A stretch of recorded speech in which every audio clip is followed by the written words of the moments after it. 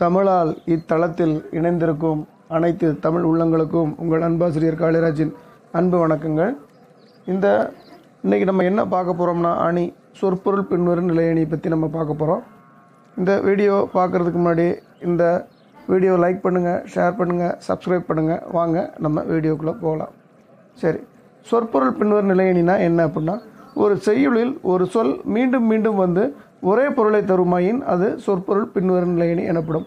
அதாவது ஒரு செய்யுளில் ஒரு சொல் மீண்டும் மீண்டும் வந்து ஒரே பொருளை தருமாயின் அது சொற்பொருள் பின்வரும் நிலையணி எனப்படும். ஐயா சிறப்பு ஐயா இதற்கு உதாரணங்கள் சில கூறினால் நன்றாக இருக்கும் ஐயா. குணம் நாடி குற்றமும் நாடி அவற்றுள் மிக நாடி மிக்க குழல். இதில் வந்து நாடி என்ற சொல் மீண்டும் மீண்டும் வந்து விரும்புதல் என்ற ஒரே பொருளை தருது.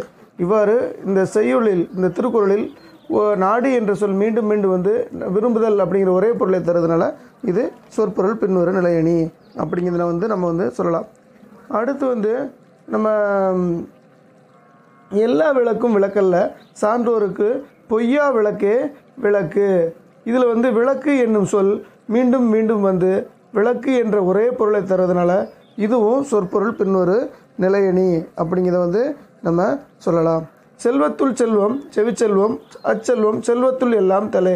இக்குறளில் செல்வம் என்ற சொல் மீண்டும் மீண்டும் வந்து செல்வம் என்ற ஒரே பொருளை தருவதனால் இதுவும் சொற்பொருள் பின்வரும் நிலையணி. ஐயா மிகவும் நன்றாக புரிந்தது ஐயா.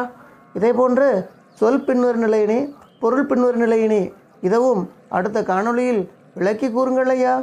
மாணவர்களே போட்டித் தேர்வு எழுதும் அன்பு தோழர்களே இந்த திருக்குறளும் அதில் பயின்று வந்துள்ள அணிகளும் அப்படிங்கிற ஒரு பகுதி உங்களுக்கு பொதுத் தேர்வுக்கு கட்டாயம் ஒரு மதிப்பெண்கள் வரும். அதனால் இந்த வீடியோவை வந்து நீங்கள் என்ன பண்ணுங்க அப்படின்னா நோட்டில் எடுத்து கிண்ட் எடுங்க. கிண்ட் எடுத்து வச்சு இதை திரும்ப திரும்ப கேளுங்க. கட்டாயம் ஒரு மதிப்பெண்களை வாங்குங்க. நன்றி வணக்கம். வாழ்க வளமுடன் வளர்க தமிழ்.